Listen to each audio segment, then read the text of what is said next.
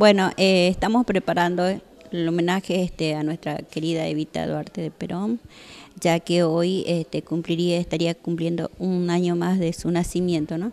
Eh, también invitarlos al, al homenaje que se va a realizar en la calle 20 de febrero y San Martín a horas 20. ¿Esto se, estaría llevando a cabo después de la sesión del Consejo?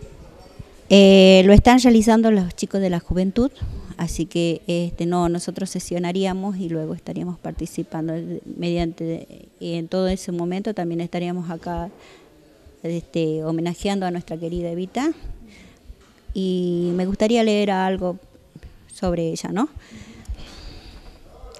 Bueno, eh, María Eva Duarte nació eh, como nació Eva Perón, como se la conoció en sus últimos años, o Evita, como el pueblo la bautizó. Fue una figura que rompió todos los procedentes históricos y defendió una modalidad política nunca vista hasta entonces. Durante el breve periodo de su actuación al lado de Perón fue el centro de un creciente poder y se convirtió en el alma de movimientos peronistas, en su esencia y en su voz. Adorada a la vez odiada por millones de argentinos, lo que jamás provocó fue la indiferencia. María Duarte nació en un pueblo de Los Toldos, provincia de Buenos Aires, el 7 de mayo de 1919. Ella, su madre Juana Ibariguren y cuatro hermanos formaban la familia irregular de esa época. Se trasladaron a la ciudad de Junín, donde Eva permaneció hasta 1935 se sentía asfixiada por el ambiente pueblerino y entonces con tan solo 15 años decide mudarse a Buenos Aires buscando convertirse en actriz. Solo sin recursos, sin educación, se enfrenta con el mundo hostil y duro, cuyas reglas desconoce, pero triunfa, llega a ser actriz de cierto nombre y salir en las tapas de revista y encabezar un programa de radio muy escuchado. Sin embargo, su destino era otro. En enero de 1944, Eva María Duarte conoce al coronel Juan Domingo Perón en un festival que la comunidad artística realizaba en beneficio de las víctimas del terremoto que había destruido la ciudad andina de San Juan pocos días antes.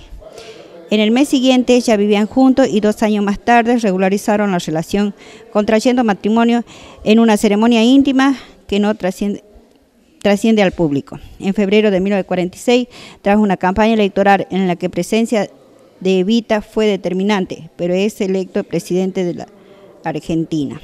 La oposición política en momento se trasladó a ella la antipatía y el rechazo que sentían por Perón. El ascenso vertigioso de esa mujer de origen humilde, pasado dudoso y de tan solo 27 años, fue para muchos argentinos un motivo más de repudio. En su rol de primera dama, Eva Perón desarrolló un trabajo intenso, tanto en el aspecto político como en lo social. En cuanto a la política, trabajó intensamente para obtener el voto femenino y fue organizadora y fundadora de la rama femenina del peronismo.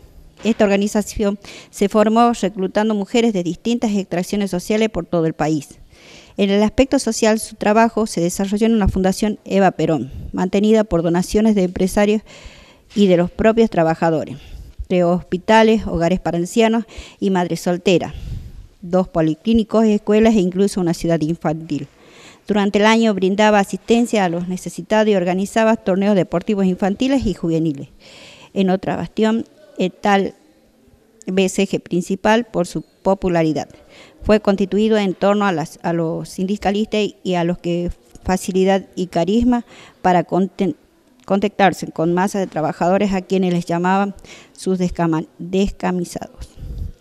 Eva Perón falleció el 26 de julio de 1956 con tan solo 33 años y sin dejar hijos, por ocasión de un cáncer de útero. El dolor popular no la abandonó en un velatorio que, que duró más de 15 días y no lo abandonaría jamás. En el imaginario popular, Evita se convirtió para muchos en una especie de santa patrona que es, eh, se tiene muy presente, ¿no? Justamente Evita Perón, ¿no? También eh, podríamos hacer una referencia con, lo, con la expresidenta Cristina también. Sí, así es. Con nuestra querida también expresidenta eh, Cristina Fernández, a quienes también todo un pueblo sigue queriendo y sigue creyendo en ella, ¿no? Desde ya entonces invitamos a la gente ¿no? para este acto que se va a estar realizando también el día de hoy. Así, invitarlos a todos eh, al homenaje de nuestra querida Evita.